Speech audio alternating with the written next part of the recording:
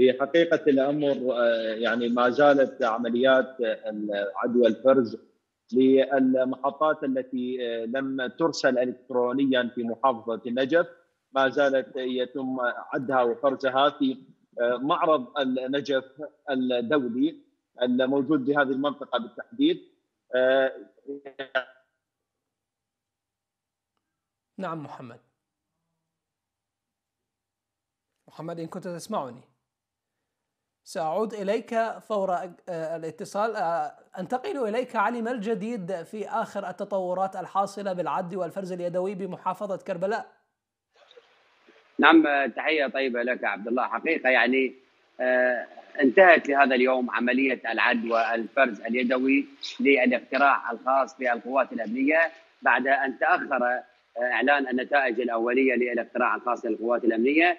ويعني تبقى وتأجل ليوم غد 33 أو 22 محطة انتخابية أو يعني مركز انتخابي واليوم تم إنجاز 33 مركز انتخابي بالتالي يعني بلغت الأعداد الأولية والنتائج الأولية التي خرجت لهذا اليوم نعم. لإبداع كربلاء 200 2700 يعني صوت للناخبين. وأيضا جاء بعد ذلك دولة القانون ولتأتي بالمركز الثالث يعني تحالف نبني. حقيقة اليوم جرت عملية الفرز والعد اليدوي لأوراق الناخبين.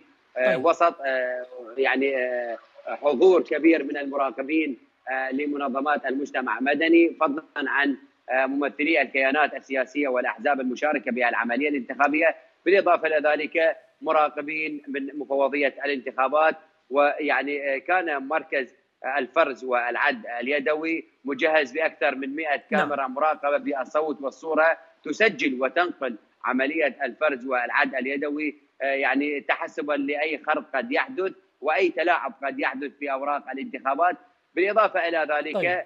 تم تأمين هذا المركز بالقوات الأمنية وانتشار أمني بالشوارع المؤدية إلى مركز العدوى والفرز اليدوي وانتشار نعم. أمني بالإضافة إلى ذلك يعني كما ذكرت لك عبد الله جرت العملية منذ الساعة الثامنة صباحا وحتى ساعات طيب. متأخرة من هذا النهار وتم تأجيل العمل والمتبقي 22 مركزا إلى يوم غد كلها سوف يتم يعني فرزها وعدها يومي يدويا يوم غد وبعدها سوف تعلن النتائج النهائية لأعداد المصوتين والناخبين للاقتراع العام نعم. الخاص للقوى نعم. الأمنية عبد الله. طيب دعني أنتقل إلى محمد وكنت تتحدث عن استمرار يعني عمليات العدوى الفرز اليدوي، هل من موعد محدد لنهاية هذا العدوى الفرز اليدوي أو هنالك تسريبات جديدة بإضافة أصوات إلى قوائم معينة؟ تحيه لك يا زميلي عبد الله مجددا يعني بالتأكيد هنالك يعني إضافات جديدة لربما ستغير المقاعد في في مجلس محافظة النجف المقبل خصوصا ما إذا يعني عدنا للحسبان بأن دولة القانون تصدرت نعم. من خلال هذه المحطات التي لم يتم يعني احتسابها الكترونيا أيضا بعدها يأتي تحالف نبني ومن ثم يعني حركة الوفاء العراقية التي يتزعمها الدكتور عدنان الزرقي.